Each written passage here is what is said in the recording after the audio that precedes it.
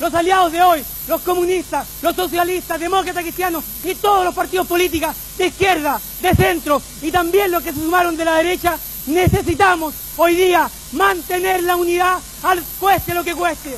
¿Y por qué?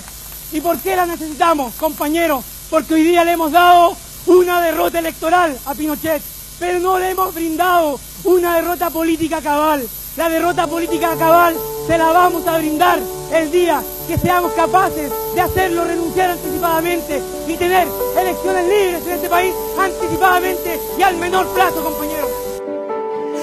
Señor Alejandro Navarro Brain, juráis o prometéis guardar la constitución política de la República, desempeñar fiel y lealmente el cargo que os ha confiado la nación, consultar en el ejercicio de vuestras funciones sus verdaderos intereses según el dictamen de vuestra conciencia, guardar sigilo acerca de lo que se trata en sesiones secretas y respetar y acatar las decisiones de la Comisión de Ética y Transparencia del Senado.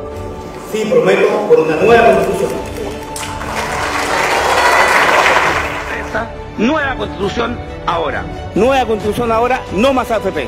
Nueva constitución ahora, nueva constitución ahora, nueva constitución ahora. Nueva constitución, como lo hemos dicho, que es el segundo compromiso de la presidenta Bachelet, que lo vamos a cumplir, igual que Patagonia sin represa, y no más AFP, por lo cual estamos luchando a diario. Nueva constitución ahora, nueva constitución ahora, no más AFP.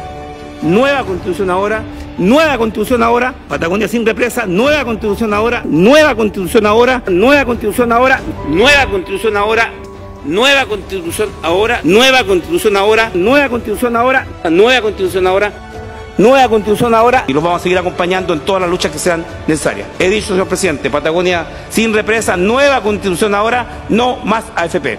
Nueva constitución ahora.